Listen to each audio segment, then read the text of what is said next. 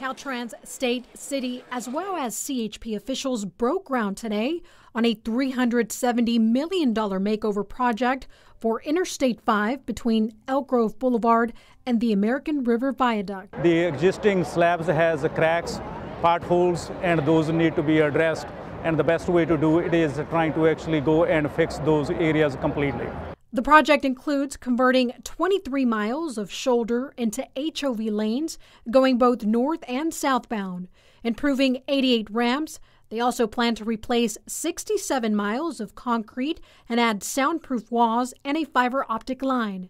Caltrans officials say this will save commuters time on the road. During the commute time, the bus and carpoolers should be able to save an average of 13 minutes. The regular commuters should be able to save 7 minutes on their daily commute from Elk Grove to downtown. Doesn't sound like much, but in a year, commuters could sit around 55 hours less in traffic.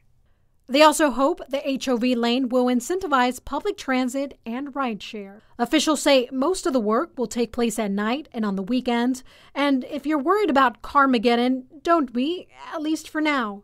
The electrical and drainage portion will be worked on for the first year.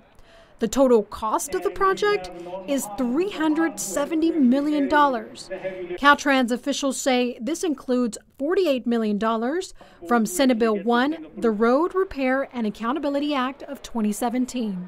The project is expected to be completed by December of 2022, three years after breaking ground.